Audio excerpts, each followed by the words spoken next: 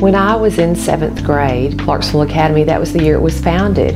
And I grew up on a farm that is on the Kentucky Tennessee line, and my father valued education highly. And for that reason, my parents chose to send me to Clarksville Academy, and I actually attended here from seventh grade and graduated here.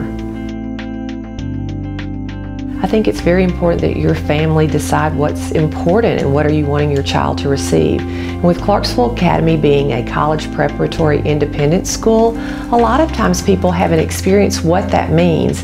So I think it's very important to come visit us and see and walk through the classes, go through the halls, let us have you come in, talk with the teacher, talk with me. We have students who come for the day.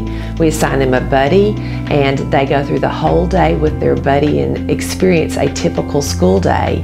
And they've set in their mind before they come what they think it's like, but then when they're here that day, they actually leave knowing what it is really like.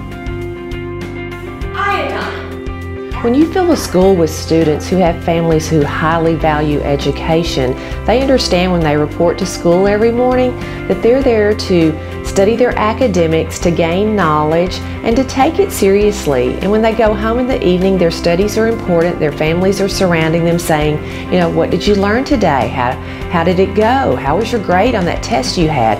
And so we have a whole school filled with families who highly value education we're located in downtown Clarksville in the historic district. Our sports complex is about seven minutes from our main campus, which we shuttle the students down there for practice in our own vehicles. And it sits right on the river. It's a beautiful view. I think the easiest thing to do is go to our website, click on a link and look at a classroom. Hear one of our coaches talk about how they're training our students. I think that is one of the easiest ways if you can't actually come and visit our campus.